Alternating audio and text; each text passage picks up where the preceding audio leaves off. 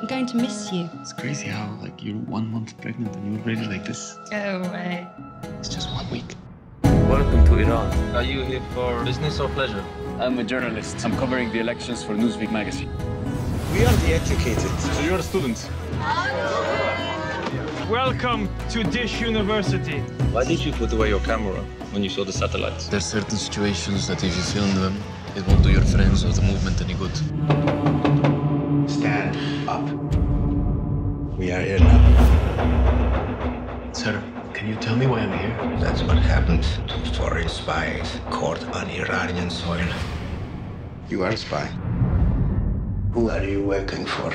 The CIA? Newsweek? MI6? Where's Anton Chekhov? Anton Chekhov, the, the playwright? He will tell them nothing. There's nothing to tell. Tensions are rising in Iran. The election has ended in controversy. What are you doing? Fighting back! You have a real weapon and you choose not to use it.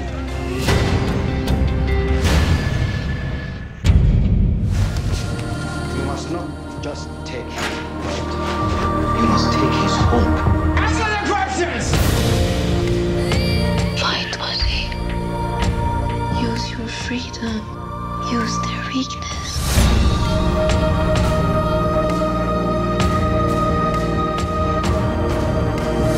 They're locked you up, but you're still free.